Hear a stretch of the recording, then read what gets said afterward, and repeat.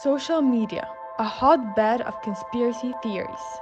Since it is created to be highly addictive physically and psychologically, it is no surprise that people will firmly believe in theories and sometimes without making sure they're even correct. They forget that the media is owned by companies who choose what they want us to see and what they don't. In 21 December 2019, the first coronavirus case was confirmed in Wuhan City, China. So, the Chinese government enforced lockdown measures by closing borders and asking citizens to stay at home. Stay at home. No party. Later, the entire world became the epicenter of the coronavirus pandemic, and every government began taking adequate measures to contain the spread. But what if it's fake? False? Falso!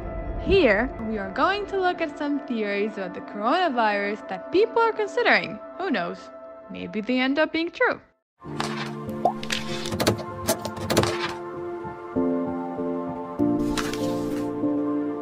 First theory Bill Gates, the owner of Microsoft, is the one who unleashed the virus.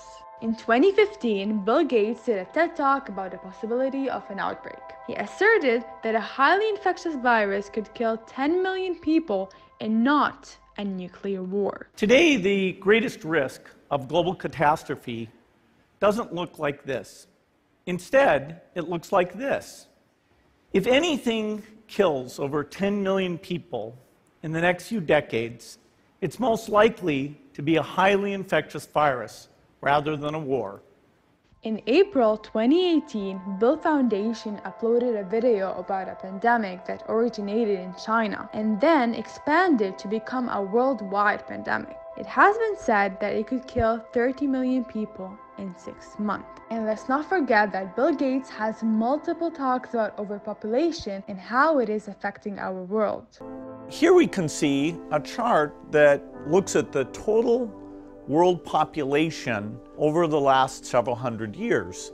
And at first glance, this is a bit scary. We go from less than a billion in 1800, and then three, four, five, six, and 7.4 billion where we are today is happening even faster. So, could Bill Gates be the reason we are in the middle of a pandemic? Some sources debunk the theory by stating that Gates helps fund research activities to develop potential coronavirus vaccines. So, it is improbable that he would participate in the spread of the virus. Second theory is the coronavirus a marketing strategy to help boost some organizations? While this may sound extreme, it is highly probable.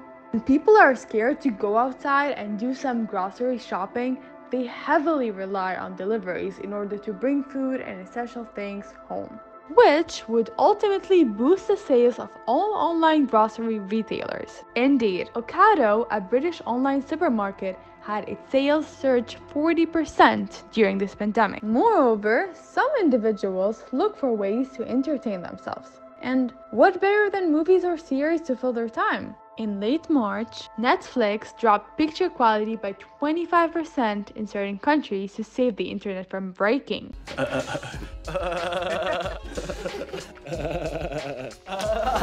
and we have to mention the companies that manufacture hand sanitizers, toilet papers, wet wipes, and masks that almost everyone in the world has at least one in stock. Could they have made the virus to boost their sales and ruin 2020? Third theory. It actually states that 5G networks accelerate the spread of coronavirus. However, we must debunk this from the start because it is more of a myth than a theory. A virus is made from biological particles composed of proteins and nucleic acids, while 5G networks are waves or photons. The World Health Organization asserted that viruses cannot travel via radio waves or mobile networks. So, no need to panic, guys. Fourth theory, it blames it all on bats. In fact, this theory has been going rounds on social media claiming that COVID 19 escaped from a Chinese laboratory. However, scientific research proved that it must have passed through an intermediary animal in the same way that another coronavirus the 2002 SARS outbreak moved from horseshoe bats to cat-like civets before posing danger to humans. This supports a radical view that animal-to-human transmission is the accurate scenario. This video is made to make you think differently, to take all perspectives into account, to inspect everything before believing anything, to analyze situations before drawing conclusions. As Antonio Guterres, the Secretary General of the United Nations mentioned, we are fighting an infodemic. Beware of the viral misinformation because it is the real pandemic that can spark senseless panic. In the movie Contagion, the role of the blogger, played by Jude Law, asserts to 12 million internet users that the government is developing a pernicious vaccine. He then boasts about curing himself from the virus by applying the homeopathic remedy made from the forsythia plant on himself. We're working very hard to find out where this virus came from, to treat it, and to vaccinate against it if we can. We don't know all of that yet. We just don't know. What we do know is that in order to become sick, you have to first come in contact with a sick person or something that they touched.